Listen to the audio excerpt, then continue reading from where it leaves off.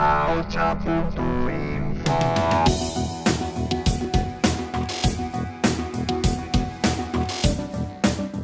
Hoy presentamos la documentación que va anexa a la querella, que se ha presentado eh, telemáticamente, y a partir de aquí, por supuesto, el, camino judicial que esperamos, el camino procesal que esperamos que se tenga en cuenta los datos que aquí se aportan. Hay una pericial donde no en vano se, mencionan los 309 casos de asesinatos eh, cometidos en Pamplona sin juicio, más eh, más de mil eh, personas que denuncian con testimonios en primera persona que fueron en su momento pues, eh, reprimidas, encarceladas, etcétera. A partir de ahí, y por cuanto no se trata de, delitos concretos, sino lo que en la legislación internacional se considera como genocidio y por tanto delito de lesa humanidad, queremos recordar que es imprescriptible y así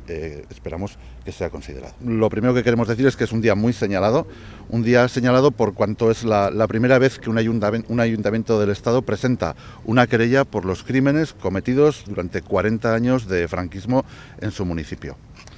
Ha sido además un camino largo y tortuoso, especialmente para los familiares que han visto durante décadas cómo al dolor de la desaparición física de sus familiares encima eh, tenían que aguantar pues la, impunidad de los, de los culpables. Y en este camino hay que señalar, lo hacía Gloria y lo quiero señalar yo también en primera persona, el trabajo realizado durante décadas por las asociaciones memorialistas. Ellos son realmente los artífices de, esta querella. Y el ayuntamiento lo que ha hecho ha sido recoger ese esfuerzo, apoyarse en las asociaciones y desde luego desde ahora os anuncio que seguiremos trabajando codo a codo con las asociaciones de memorialistas que están trabajando a pie de calle por recuperar esos parámetros que decía Gloria de verdad, justicia y reparación.